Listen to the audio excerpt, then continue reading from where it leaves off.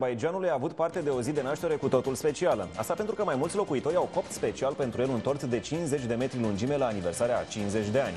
A fost o prăjitură multicoloră prezentată în piața centrală a orașului în fața a zeci de pofticioși în frunte cu președintele Azer.